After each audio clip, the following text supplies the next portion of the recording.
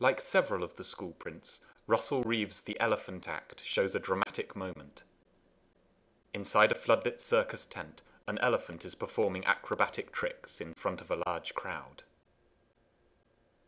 Although the elephant gives the picture its title, Reeve actually seems more interested in giving a behind the scenes view of the other performers, waiting their own turn to go into the ring.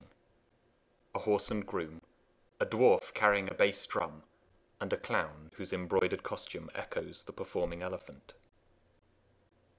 As all of the figures in the scene have their backs to the viewer, there was some concern that children wouldn't engage with the picture. However, the combination of the vivid colours in the foreground and the interesting subject in the background helped make Elephant Act a great success.